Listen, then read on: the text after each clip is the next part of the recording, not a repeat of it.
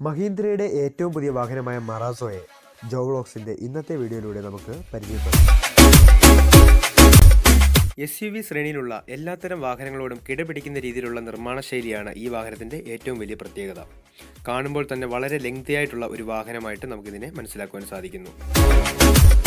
വളരെ സ്റ്റൈലിഷായ നിർമ്മാണ ശൈലിയാണ് ഈ വാഹനത്തിന്റെ എടുത്തു പറയേണ്ട ആദ്യ പ്രത്യേകത. വിശാലമായ ഉൾവശവും പിൻവശവും നമുക്ക് കാഴ്ചയിൽ തന്നെ വലിയൊരു വാഹനത്തിന്റെ ഫീൽ നമുക്ക് നൽകുന്നുണ്ട്.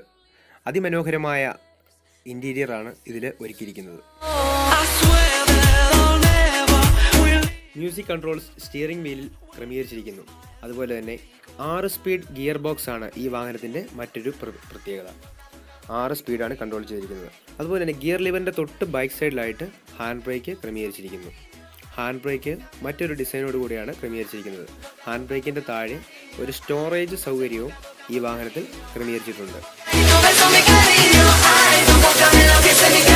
ടോപ്പ് സൈഡിൽ കാണുന്നത് സെൻട്രൽ മിററും ചെറിയൊരു സ്പേസ് കൂടിയാണ്. എന്തെങ്കിലും പേഴ്സോ അത്യാവശ്യ സാധനങ്ങൾ വെക്കാനുള്ള സ്പേസ് ഉണ്ട്. കൂടാതെ അതിന്റെ തൊട്ട് ബാക്കിലായിട്ട് സെൻട്രൽ മിറർ ക്രമീകരിച്ചിരിക്കുന്നു. അത് വളരെ സ്റ്റൈലായിട്ടാണ്. അതിന് തൊട്ട് മുകളിലായിട്ടാണ് lighting arrangement light L E D ലൈറ്റോട് കൂടിയ ഡിസ്പ്ലേ ആണ് അറേഞ്ച് ചെയ്തിരിക്കുന്നത്. ഫ്രണ്ട് ഡിസ്പ്ലേയോട് ചേർന്നുള്ള ഭാഗങ്ങൾ വളരെ മനോഹരമായി തന്നെ നിർമ്മിച്ചിരിക്കുന്നു. സീറ്റിംഗ് കപ്പാസിറ്റി എട്ടായതിനാൽ അത്യാവശ്യം എല്ലാ യാത്രയ്ക്കും വളരെയധികം ഉപകാരപ്പെടും. ബാക്ക് സൈഡിൽ നിന്ന് നോക്കുമ്പോൾ വളരെയധികം സ്പേസ് ഉള്ളതായിട്ട് നമുക്ക് കാണുവാൻ സാധിക്കും. സ്റ്റോറേജ് ഇതിന്റെ ഏറ്റവും വലിയൊരു അഡ്വാന്റേജ് ആണ്. കാരണം വിശാലമായ സ്റ്റോറേജ് സൗകര്യം ഈ വാഹനത്തിൽ ലഭ്യമായിട്ടുണ്ട്.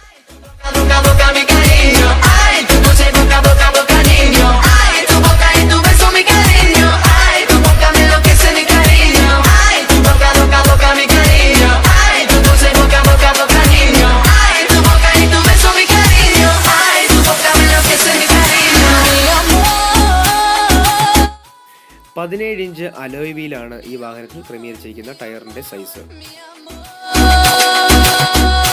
M two M four M six and M eight എന്നിങ്ങനെ നാല് വേരിയന്റുകളായിട്ടാണ് ഈ വാഹനം നിരത്തുകളിൽ ഇറങ്ങുന്നത്. അടിസ്ഥാന മോഡലിന് ഏകദേശം ഒമ്പത് ലക്ഷത്തി തൊണ്ണൂറ്റൊമ്പതിനായിരം രൂപയാകുമ്പോൾ ഏറ്റവും ടോപ്പ് മോഡലിന് പതിനാല് ലക്ഷത്തോളം വില വരുന്നു. ഫ്രണ്ടിൽ രണ്ട് എയർ ബാഗുകളും എ ബി എസും വാഹനത്തിന്റെ മറ്റൊരു പ്രത്യേകതയാണ്. കൂടാതെ കമ്പനി ഈ വാഹനത്തിന് പതിനാറ് പോയിന്റ് ഒമ്പത് കിലോമീറ്റർ പെർ ലിറ്റർ മൈലേജും അവകാശപ്പെടുന്നുണ്ട്. അതുപോലെ തന്നെ ഡ്യുവൽ എ സി സെറ്റപ്പാണ് ഈ വാഹനത്തിൽ ക്രമീകരിച്ചിരിക്കുന്നത്. രണ്ട് സൈഡിലേക്കും വിശാലമായ എ സി സെറ്റപ്പ് വാഹനത്തെ പെട്ടെന്ന് തന്നെ കൂളാക്കുന്നതിന് സഹായിക്കുന്നുണ്ട്.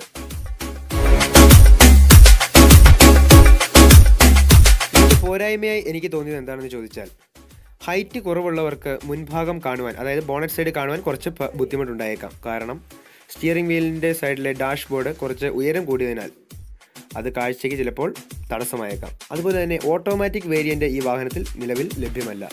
പെട്രോൾ മോഡൽ ഇല്ല എന്നുള്ളതും ഒരു ദൗർഭാഗ്യമായി നമുക്ക് കാണാം.